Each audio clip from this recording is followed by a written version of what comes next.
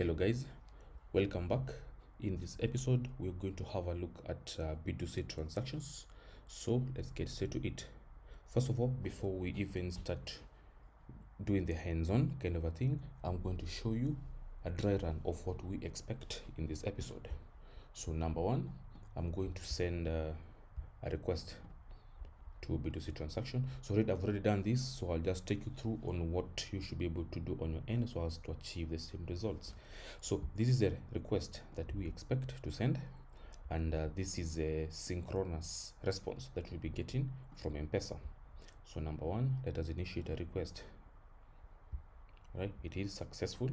So when we come to our callback, it is right so this is the kind of a, the asynchronous response that we expect um, M-Pesa to send to our callback URL, right? So let's go back to our code. So number one, as you have seen, is that our request looks something like this, and this is our synchronous response. So as usual, we're going to proceed and create a DTO representation of this request. Now, before we proceed, I would like to show you should I say quick ways in which you can be able to generate uh, these pojos on the fly without maybe taking a lot of time? So let's assume you have uh, this request.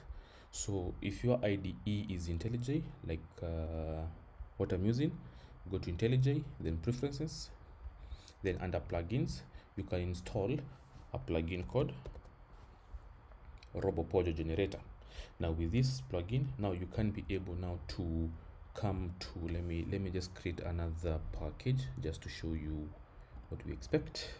I'm just going to it sample. Eventually we're going to delete this. So once you click that say new then generate pojo from json all right? Then paste your json structure that you expect. Here you can give it the name that you want. Maybe we can call it uh, something like b2c maybe something like b2c request right?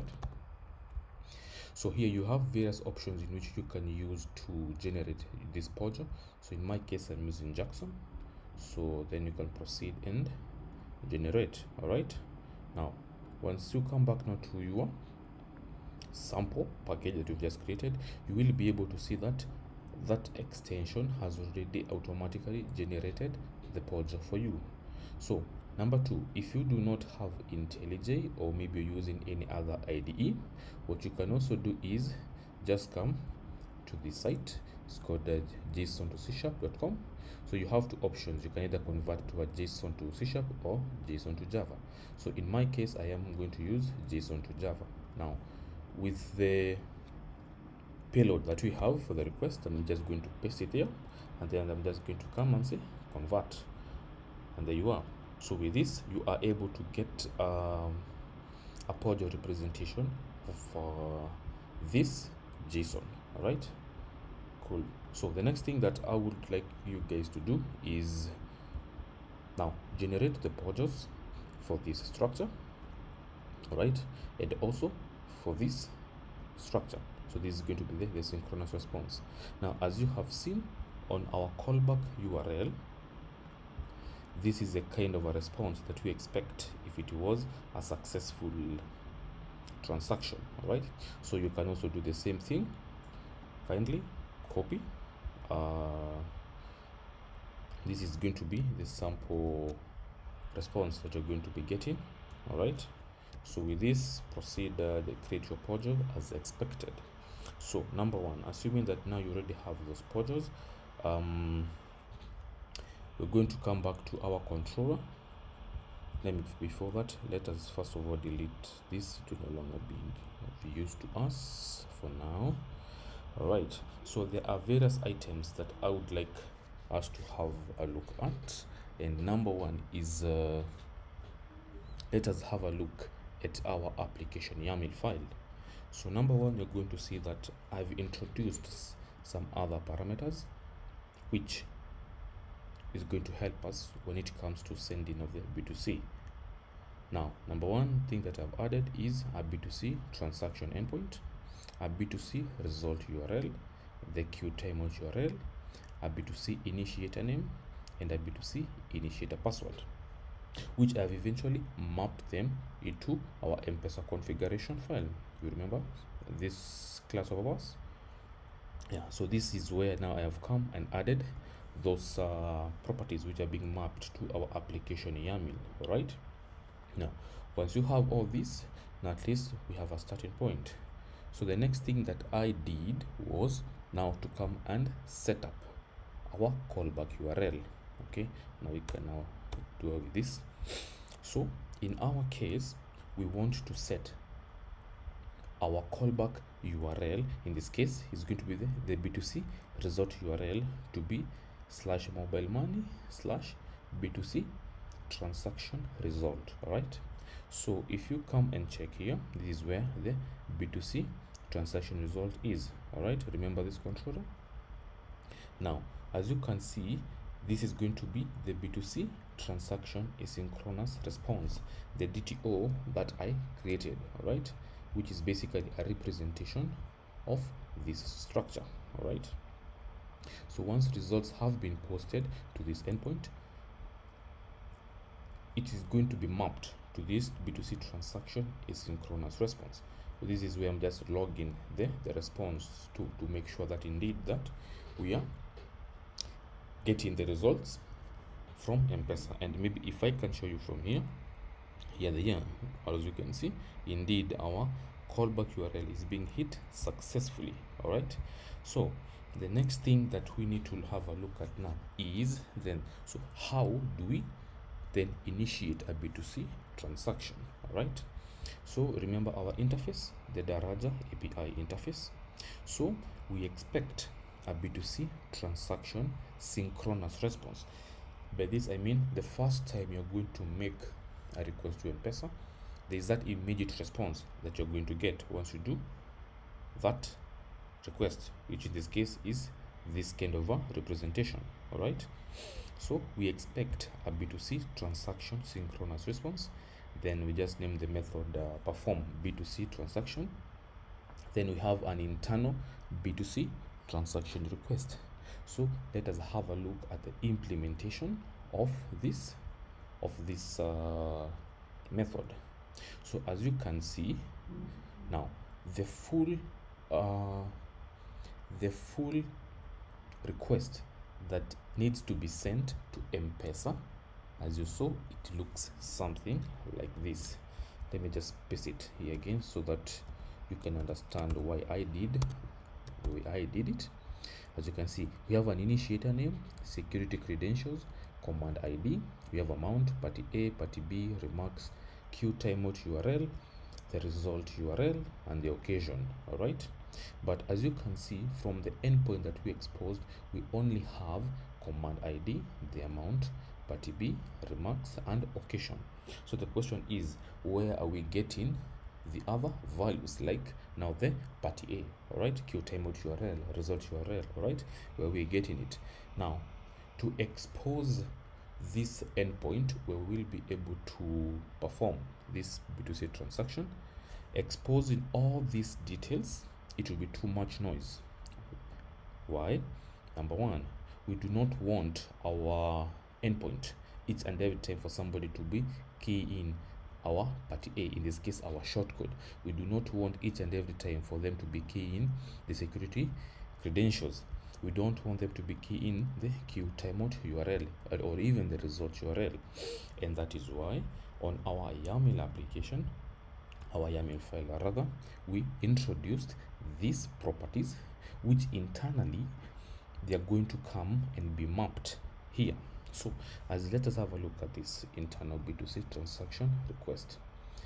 By the way this uh, dto is uh, is here. Under dtos right? So this is what we are going to expose to if I may say to the public domain where they'll be able in this case to initiate let's say a B2C transaction then internally we are coming and mapping whatever has been sent from our internal B2C request to now the B2C transaction request that eventually we will send to to M-Pesa. Hope that makes sense. So as you can see the b2c transaction request this is where now we have all those values that safaricom expects all right? And it is just from there that we are just coming and saying we are setting the command id to what has been set from our exposed uh, uh, b2c endpoint. We're setting the amount party b remarks and the occasion all right?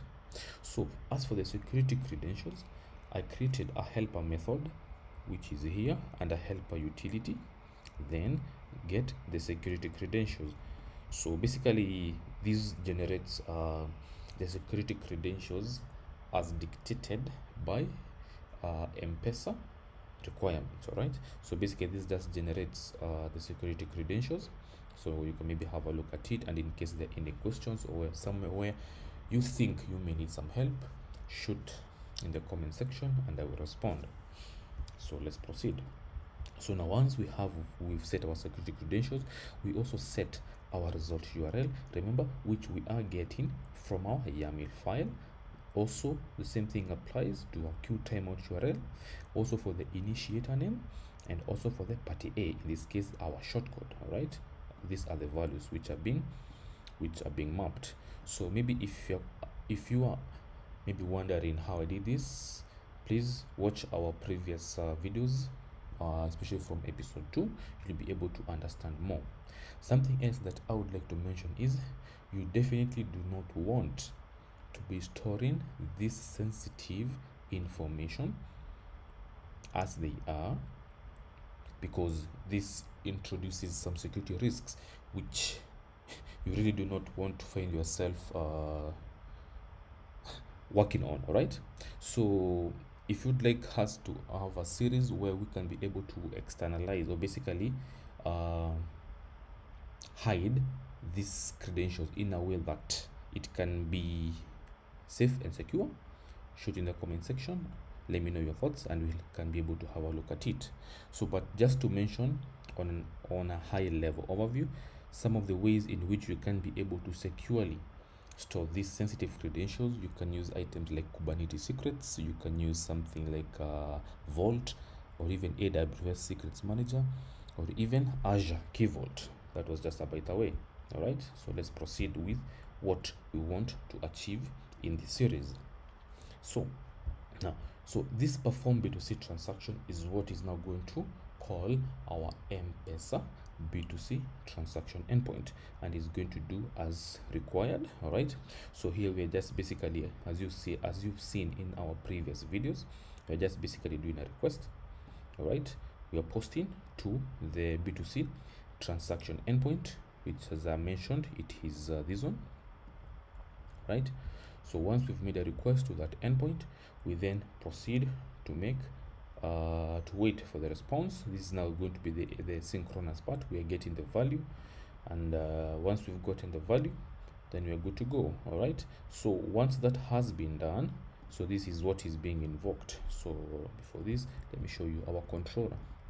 So the b2c transaction. This is the endpoint which which we are hitting right? From from from uh, postman. So once you do this request right? This is what is being called the b2c transaction which internally calls our daraja uh, implementation to perform a b2c transaction. Now based uh, depending on what result url you did set in my case i did set uh, the b2c transaction result powered by ngrok which of course which ngrok is basically a tool that is going to enable you to expose your local host to the public domain once we've done our transaction here it is. We expect uh, the result to be posted on that url and as you can see this is uh, a result that we have gotten. And of course safaricom expects us to acknowledge that indeed we have received uh, we have received uh, the payload on our on our callback url so by that you will see in our controller this is a b2c transaction result right? So as you can see we are basically responding with an acknowledge response. So this acknowledge response let's have a look at it is basically a simple uh, pojo with just a message all right? So maybe you might be asking yourself as you can see i'm just returning an acknowledge response. So where where is this?